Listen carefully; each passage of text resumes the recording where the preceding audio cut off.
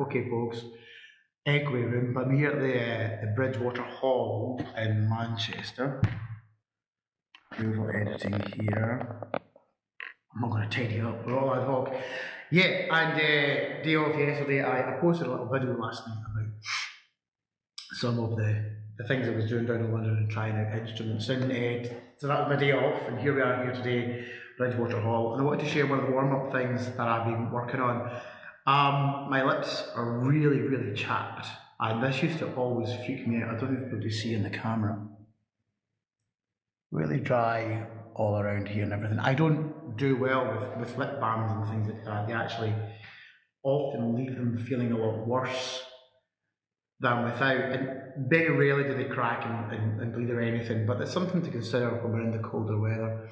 And what I learned when I was out on cruise ships many, many moons ago was that um, the, the wind burn and the sunburn and everything very rarely actually affected the, the vibrating patches in the centre.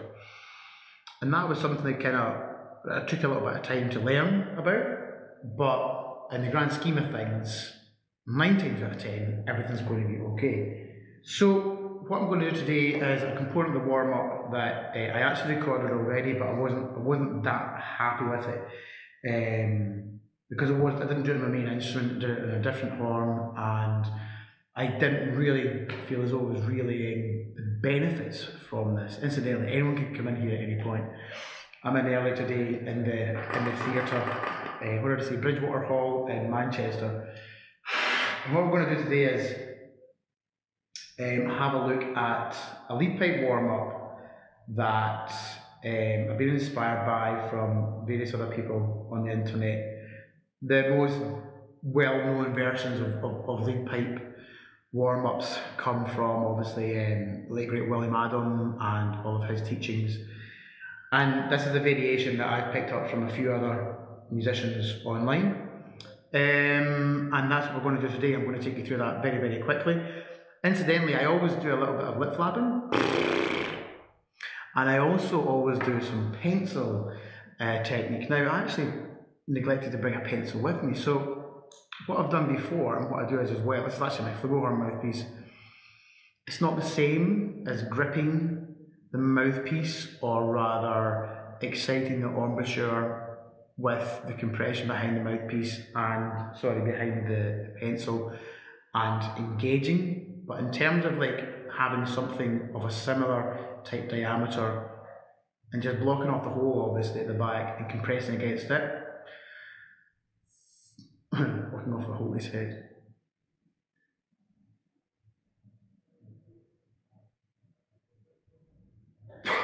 you still get a similar effect and I quite like that engagement so anyway I've already done that. Lead pipe. Standard lead pipe is pretty much oh,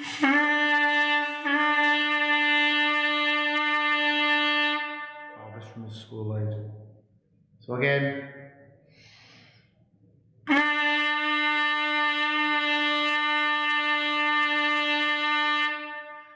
Now I had all of yesterday off, absolutely fine. There's no reason why I would have forgotten to play trumpet within that time. And the concerns about chaplets, nothing there. I mean, I can feel the tension and the actual surface tension of the skin when the skin is dry. That's absolutely fine. So that's pretty much it. Now, um, there's a version that I've covered before. I believe Mike Lovatt shared it with me where we line up the mouthpiece and blow through.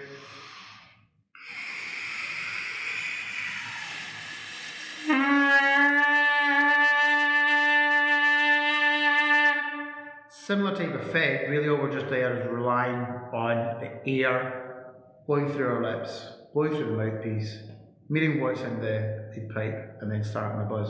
So the variations in this are essentially moving around the lead pipe.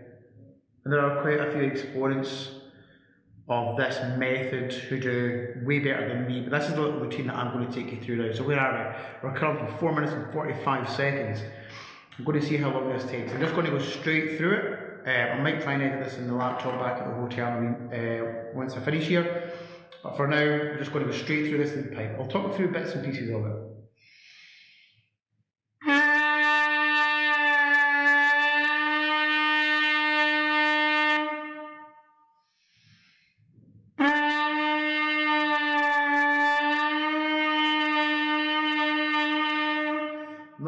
Steer the pitch other than just do a kind of note bend down and then allow the pitch to come back up as I would in a normal note bend. Now that's technically about a semitone there. I'm to go down past that semitone to a tone, and then down to a tone and a half, around about down to an E, and I'll maybe go down to around about E flat and a D as well. Because of course, our lead pipe, this is a little bit longer being a reversely piped trumpet, so it's slightly lower than a concert E flat, um, but the concept's all the same.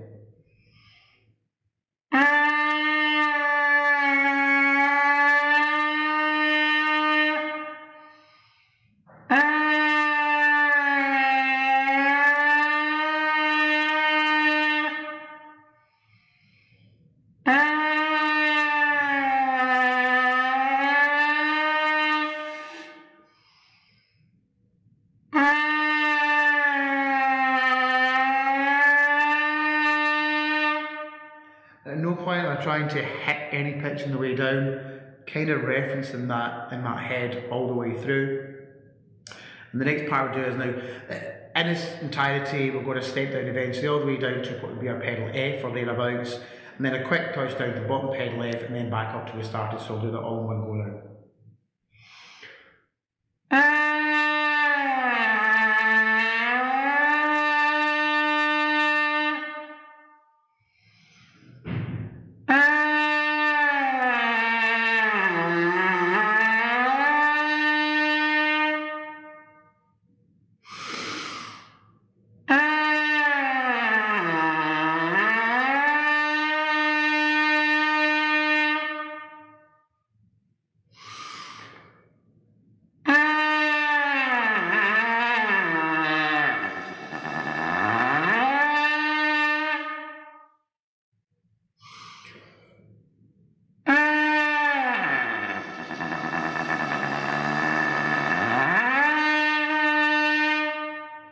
That's what I like to think about as, as being part one or part 1A of, of this routine where we've really just blown straight through our lead pipe, all the way, touching all the way down to that pedal F type thing, really just trying to think about can I get a nice buzzy tingly feeling going here, and, and I am. So the next part, I love saying this to my my students, particularly the younger ones, it sounds like a strangled chicken or a, or a a strangled rat or some, some, some, some creature going through torture and pain. Anyway, so what we're going to do is we're going to gradually push up through the lead pipe and there'll be a harmonic click at some point where it goes up to around about an octave above our starting point. So do it slowly.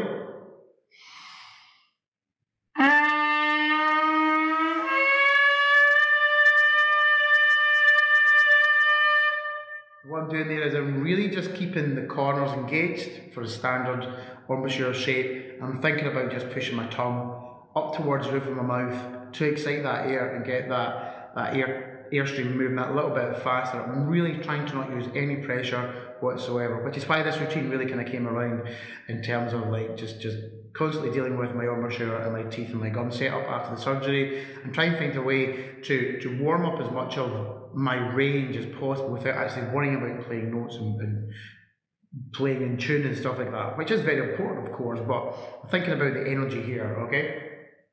So we're gonna do that again, and when the, the, the harmonic flick happens and it goes up, it's actually a little bit flat, so I'm just thinking about supporting up to that octave area for pitch.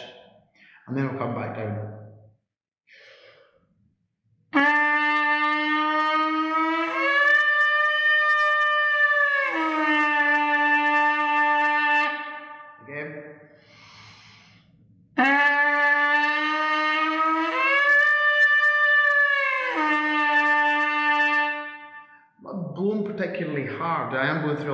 Quick because there's there's next to no resistance in the lead pipe.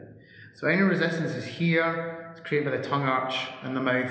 I'm trying to think always about the fullness of sound, which is a huge component of the lead pipe exercise.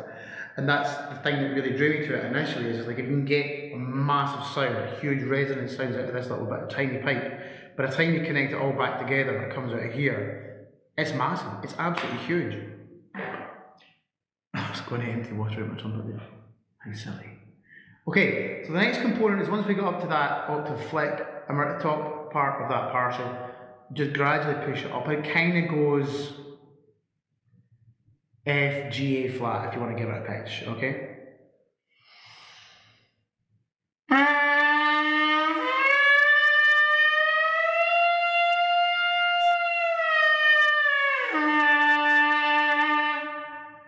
Okay, so it's kind of a kind of random pitchiness type thing going on there, and really what I'm working towards now is the next partial push up at no point I really wanting to try and push, I'm really wanting to try and overwork the embouchure. Sometimes it goes up to the next partial quite quickly, and sometimes I have to think about really getting a good, strong, focused airstream before it naturally wants to click up. At no point do I want to overly manipulate the, manip, manipulate the embouchure. That'd be a good outtake. Um, at all points, I'm trying to think about the air being steered or controlled by tongue arch control, okay? So by doing this part as well, I also add on the octave, the lower octave come um, um, part where we go down to our pedal F. So in its entirety, where we are now is this.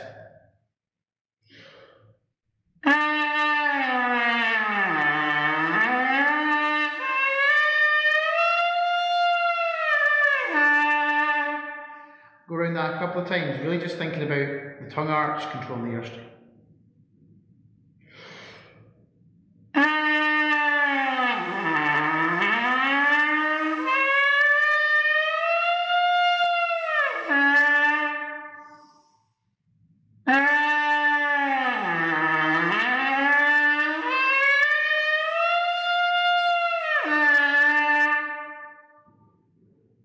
I'm really hard to do any work. Getting a nice energized buzz area.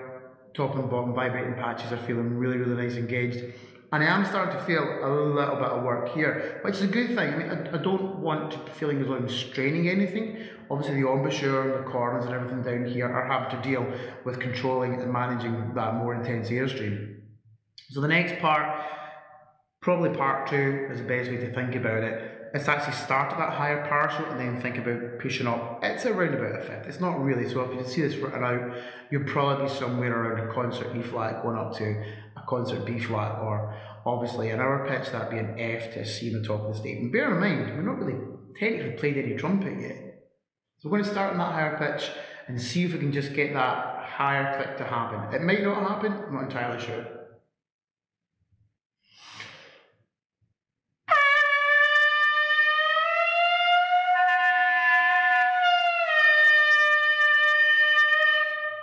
Almost really interesting. I could feel both vibrating patches want to work at different points there, so obviously they're not ready to do it. So we'll just work on it a couple of times, think about the tongue arch control, making sure the compression support is in place.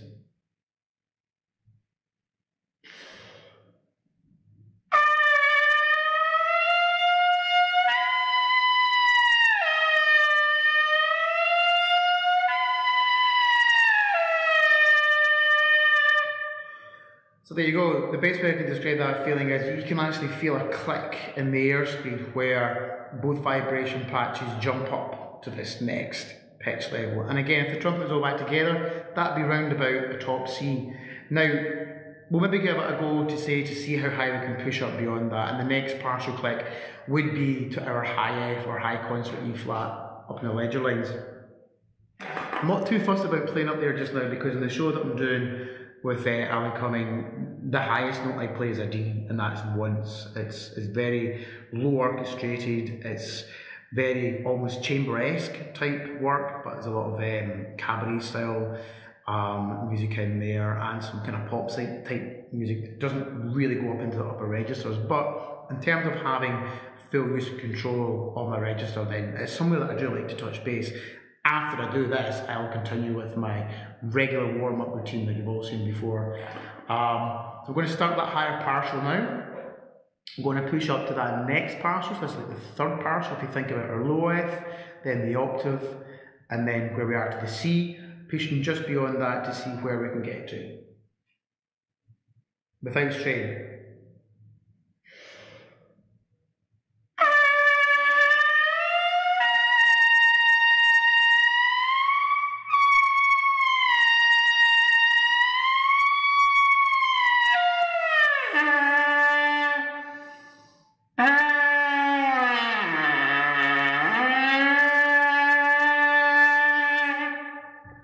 I'm happy with that. I can sit, like I said, I'm, not playing up there just now, and I know that I could probably, with the tuning slide back on, manage to play up there to that full register, um, and I will do so in the rest of the warm up. So that's it for now. Um, I'm going to see if we can edit this and make it a little bit prettier. The noise in this room is crazy.